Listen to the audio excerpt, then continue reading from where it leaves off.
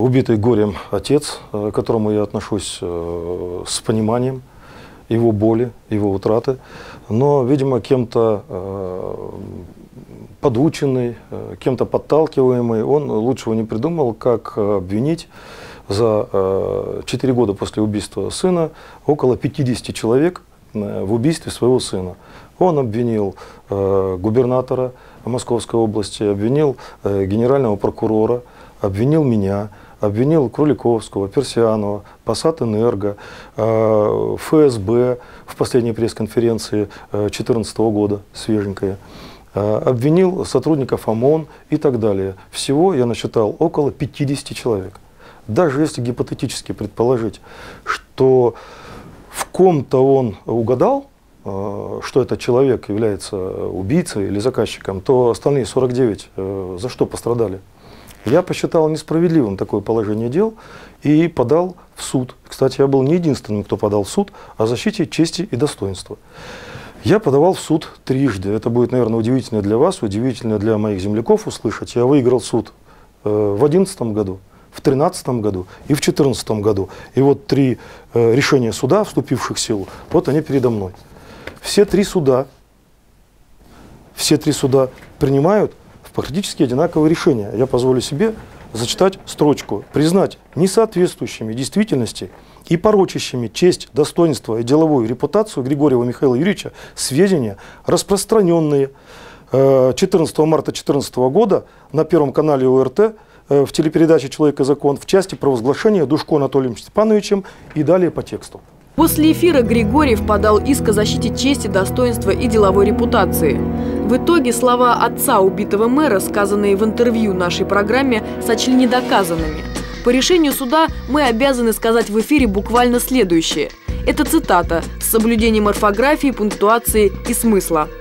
Сведения, распространенные на Первом канале в программе «Человек и закон» от 14 марта 2014 года в части провозглашения Душко Анатолием Степановичем в транслируемом сюжете, пункт А «Фамилия Григорьев», последовавший после комментария корреспондента, цитата «Похоже, что у героев нашего сюжета появились в руках козыри, которые позволяют предположить, кто на самом деле мог стоять за убийством Евгения Душко, у отца погибшего градоначальника в списке подозреваемых заказчиков главные подозреваемые другие люди». Конец цитаты цитаты. Пункт Б, цитата, а ведь все соучредители были убиты, остались только два человека, Гончаров и Григорьев, конец цитаты, являются недостоверными, не соответствуют действительности.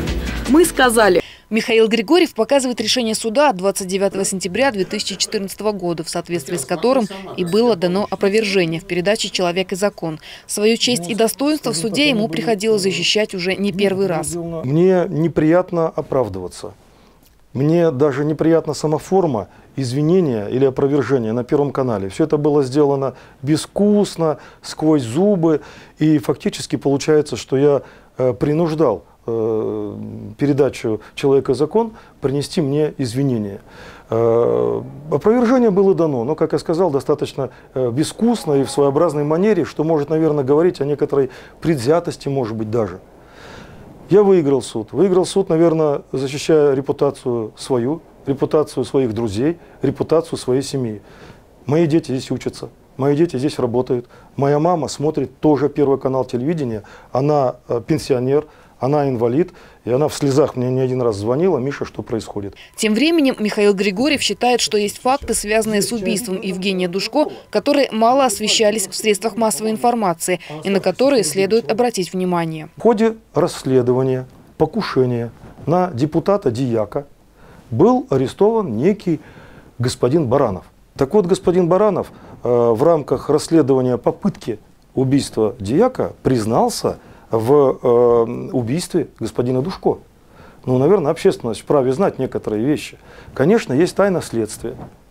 Конечно, э, какие-то вещи э, выносить на всеобщее обсуждение не нужно, но есть те решения суда, которые уже стали публичными, и они вступили в силу.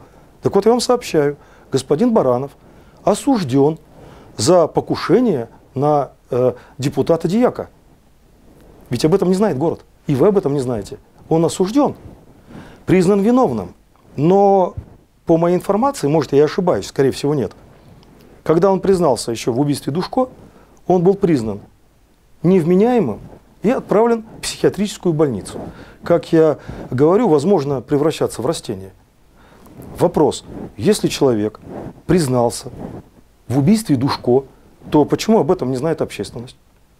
Почему дело не доведено до логического завершения? Согласно решениям суда, вынесенным в пользу Михаила Григорьева, где сведения, распространенные Анатолием Душко, признавались несоответствующими действительности, Анатолий Душко выплачивал в качестве компенсации всего 1 рубль. Однако теперь Михаил Григорьев намерен просить у суда более жесткого наказания, в случае, если Анатолий Душко сам не опровергнет свои слова в СМИ. Анатолию Степановичу Душко хочется пожелать, чтобы, во-первых, он крепился, во-вторых, чтобы он не поддавался на провокации тех людей, кто подталкивает его поливать грязью э, всех подряд, направо и налево, неуклюже, некрасиво и незаконно. А я, в свою очередь, защищал, защищаю и буду защищать свою честь и свою семью. Поэтому я подал заявление о возбуждении уголовного дела в отношении э, клеветы. Я не кровожадный. Поэтому, пользуясь сегодня эфиром, я предлагаю, если меня слышит Анатолий Степанович, я готов принять его публичные извинения и не преследовать дальше его по закону.